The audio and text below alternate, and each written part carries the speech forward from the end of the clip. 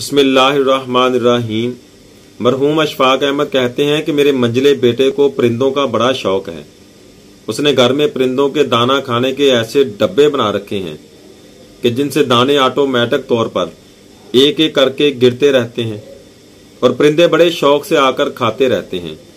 जब हम कसूर से लाहौर आ रहे थे तो उसने एक दुकान देखी, जिसमें पाँच पाँच किलो के थैले पड़े हुए थे, जिनमें बाजरा और टोटा चावल वगैरह भरे हुए थे। उसने मुझसे कहा, बाबा, ये परिंदों के लिए बहुत अच्छा दाना है। मेरा बेटा उस दुकान से चावल और बाजरा लेने गया तो उस दुकानदार ने पूछा कि आपको ये दाने किस मकसद के लिए चाहिए?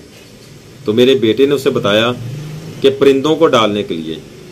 उस पर उस दुकानदार ने कहा कि आप कंगनी भी ज़रूर लीजिए, क्योंकि कुछ खुश लिहान परिंदे ऐसे भी होते हैं जो बाजरा नहीं खा सकते।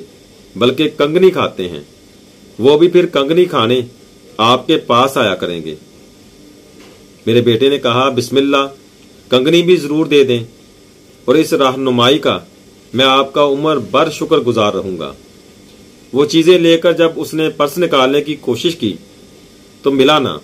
उसने अपनी जेबें, गाड़ी और आसपास हर जगह देखा, लेकिन वो ना मिला।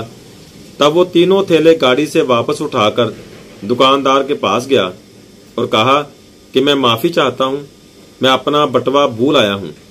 उस दुकानदार ने कहा, साहब, आप भी कमाल करते हो, ये ले जाएँ, पैसे आ जाएँगे। मेरे बेटे ने कहा, आप तो मुझे जानते ही नहीं। वह दुकानदार बोला कि मैं आपको जानता हूँ। मेरे बेटे ने कहा, वो कैसे? दुकानदार बोला कि साहब, जो शख्स परिंदों को दाना डालता है वो बेईमान नहीं हो सकता। मैंने जट से अपनी ऑटोग्राफ बुक निकाली और उसका अंगूठा लगवा लिया। ऐसे ही मेरे पास कई लोगों के दस्तखत और अंगूठे मौजूद हैं।